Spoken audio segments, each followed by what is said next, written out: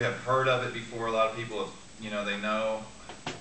It's, it's kind of a cultural phenomena that has, uh, it's become very, uh, you know, it's, it's become kind of an, uh, an American tradition in a lot of ways. It's something that's very distinct to, to, uh,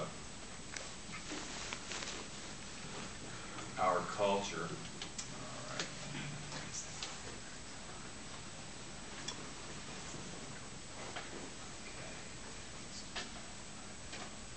Okay, so again, thanks for coming.